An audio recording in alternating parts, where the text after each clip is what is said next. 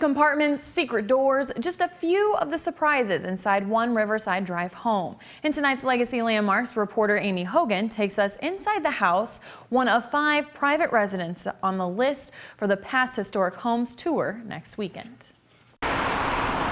Once referred to as Millionaires Row, this section of Riverside Drive was once home to the who's who of Binghamton. So this was the place to be in 1901 when the house was built.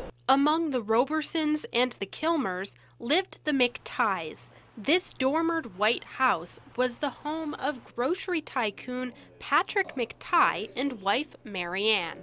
They were kind of like the Maines before the Maines. The McTighe Grocery Company operated out of several warehouses across Binghamton, including here in this building on Depot Street that suffered a recent roof collapse. Shredded wheat, this is one of the products from McTighe Warehouse Grocery. This is one of the bill heads. Handed over during deliveries to mom and pop stores across the southern tier. They were very successful. Patrick and Marianne never had kids, but raised their niece and nephew as their own. So this is the parlor. In 2004, Robin Alpaugh bought the mansion at 16 Riverside Drive. This is the room that, that sold me.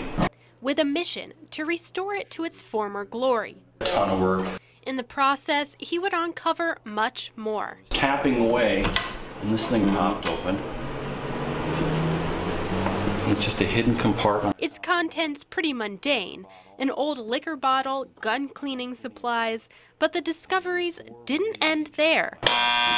Hidden in the walls, two secret doors, opened by this switch hidden under the mantle. So I think this was a humidor. Alpaugh can only guess at this and possible other secrets in the walls of 16 Riverside Drive. In Binghamton for Fox 40, News at 10, I'm Amy Hogan.